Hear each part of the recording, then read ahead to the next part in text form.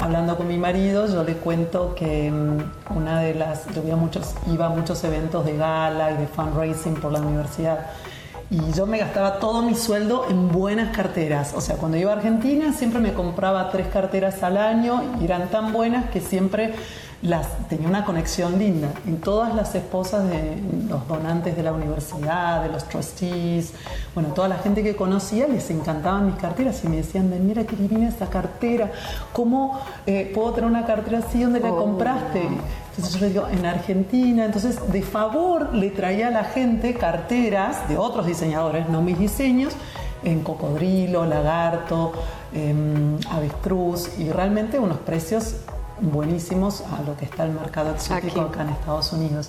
Y así fue como mi marido empezó a relacionarse y a conectarse con los mejores manufacturers en Argentina. Fue a MIPEL, que es una exhibición muy importante en Milán, en Italia, de todas curtiembres y, y, bueno, nos empezamos a empapar del tema y eh, mientras que yo el primer año trabajaba, seguía trabajando en la universidad, él se encargó de empezar a lanzar y a conectar todo para aceitar todo para lanzar nuestra marca. De un principio nosotros queríamos crear una marca eh, que sea con un producto exquisito, o sea, de muy buena calidad, excelente calidad, lo mejor. Nosotros hoy por hoy trabajamos solo con lo que se dice Grade A Leathers and Exotic Skins, o sea que compramos de las curtiembres lo mejor y desde el principio dijimos tenemos que invertir en lo mejor porque nuestras clientas, el, el target que estamos apuntando, ya estaba comprando lo mejor. Entonces dijimos, si podemos hacer lo mejor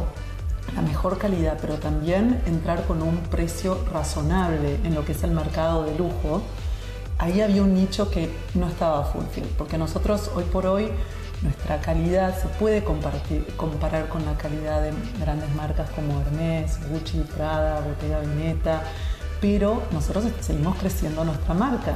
Pero la calidad es algo que nos, siente, nos hace sentir tan orgullosos. Por eso que siempre sentimos como que teníamos ángeles que nos iban a ayudar para llegar a otro paso y conectar con the right crowds. ¿no? Cuando lanzamos nuestra marca, em, hicimos un evento en Fisher Island, en Miami. Una de mis amigas vive ahí y me dice, Daniela, te sponsoreo para hacer un evento en el Vanderbilt Mansion, cerramos la mansión, invitamos 50, 60 mujeres y en ese momento teníamos, habíamos invertido nuestra primera colección, que eran solo 12 modelos.